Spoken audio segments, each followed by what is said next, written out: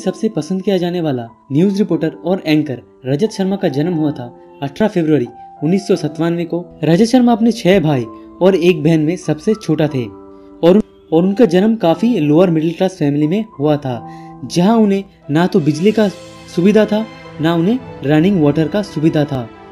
और रजत शर्मा ये भी बताते हैं कि उन्हें नहाने के लिए म्यूनिसिपैलिटी के टैप वाटर में जाना पड़ता था और वो उन्होंने उनके एक भाई को, उनकी माँ, उनके बहन के लिए पानी लाना पड़ता था उसी टैप वाटर से। मगर बचपन से ही रजत शर्मा पढ़ाई में अच्छे होने के कारण उन्होंने म्यूनिसिपल स्कूल में एडमिशन ले लिया। मगर उन्हें पूरे दिन ही स्कूल जाने आने में ही बीत जाता था। इसलिए पढ़ने के लिए रजत शर्मा को रोज रात सब्ज़ी मंडी रेलवे स्टेशन के लैंप पोस्ट के नीचे जाके पढ़ना पड़ता था। और किसी तरीके से स्कूल को कंप्लीट करने के बाद में रजत ने एसआरसीसी कॉलेज में बीकॉम के लिए एडमिशन ले लिया। मगर वहाँ पे भी उन्हें पढ़ने के लिए काफ़ी ज़्यादा प्रॉब्लम हो रहे थे, क्योंकि और उनके फ़ीस देने तक की भी पैसा उनके पास नहीं हुआ करता था। इसीलिए ही वो अपने सीनियर से पैसे के लिए मदद मांगते थे और लकीली उनके सीनियर उन्हें पढ़ने के लिए मदद करते थे। उनके सीनियर में से एक जो नाम आता है, वो है भारत के अभी के अर्थ मंत्री श्री अरुण जेटली, जो उन्हें पढ़ाई के लिए काफ़ी ज़्यादा मदद किया करते थे। और सिर्फ़ पढ़ाई के लिए नहीं अरुण जेटली ने उन्हें काफ़ी मदद भी किया करते थे जीवन में अच्छे दिख को जानने के लिए और जीवन में अच्छी दिशा को गाइड करने के लिए।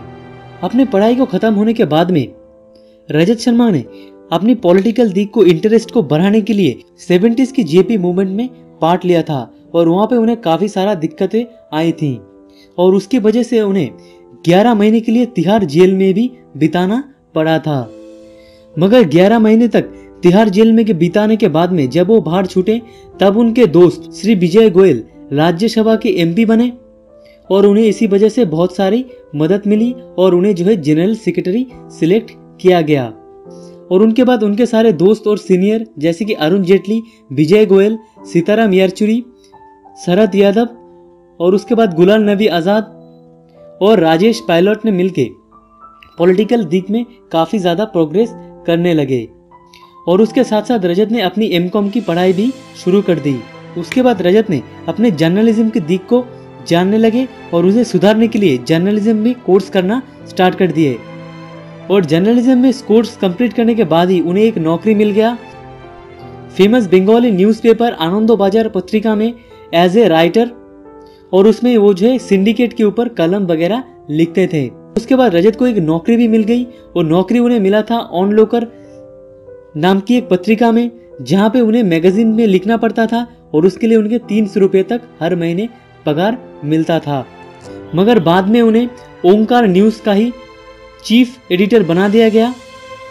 मगर दो साल की कड़ी मेहनत के बाद, रजत शर्मा को उसी न्यूज़पेपर में एज ए ब्यूरो चीफ बना दिया गया था, जहाँ वो सिर्फ़ एक ट्रेनी रिपोर्टर की तरह ही आए थे।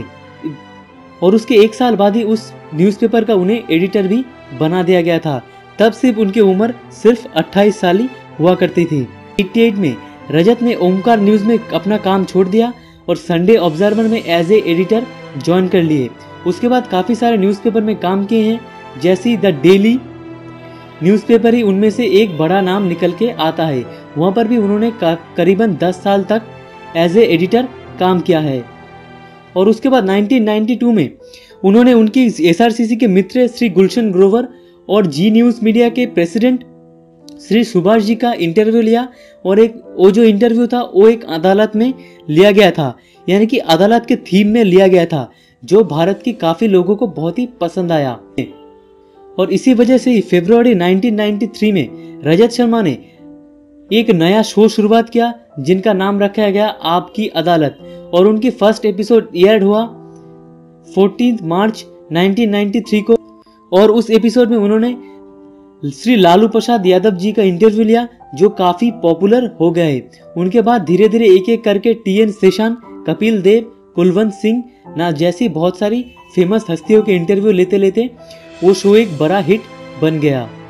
और वो शो धीरे धीरे एशिया यूरोप और नॉर्थ अमेरिका में भी देखने लगा। और उसके दो साल बाद 1995 में, रजत शर्मा और उनके वाइफ रितु ने एक इंडिपेंडेंट न्यूज़ सर्विस आईएनएस नाम के एक प्रोडक्शन हाउस का ओपन किया और उनके अंडर ही एक नया टीवी चैनल लॉन्च कर दिया गया, जिसका नाम था इंडिया टीवी और 2004 के पहले ही में ही इंडिया टीवी पहली बार टेलीविज़न में एयर्ड किया गया और उसके और उसके साथ साथ आपकी अदालत भी इंडिया टीवी में शिफ्ट कर लिया गया, जो कि इंडियन टेलीविज़न हिस्ट्री के सबसे पॉपुलर शोज़ में से एक निकल के आया है। मगर इंडिया टीवी के शुरुआती दौर को देखा जाए तो रजत शर्मा और उनकी वाइफ को काफ़ी सारे मुश्किलों की सामना करना पड़ा। मगर बहुत सारे मुश्किलों के सामना करने के बाद में 2008 और 2009 में रजत शर्मा और इंडियन टीवी को करीबन 120 प्रतिशत का रेवेन्यू ग्रोथ मिल, बहुत ही हेवी मायने में देखने को मिला था।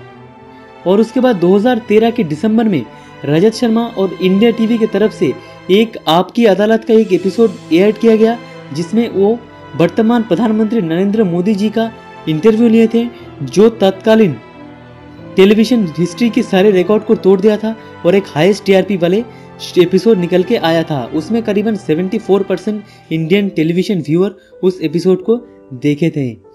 तरीके से ही रजत शर्मा एक लोअर मिडिल क्लास फैमिली को बिलोंग करते हुए भी इतने अच्छी और इतनी स्टेब्लिश जगह पे पहुँचे हैं। रजत शर्मा हर वक्त एक बात कहते हैं कि कि जब वो स्ट्रगल कर रहे थे तो वो एक ही चीज़ जानते थे कि मेरे इस स्ट्रगल को, मेरी इस गरीबी को सिर्फ़ मेरा एडुकेशन ही दूर कर सकता है।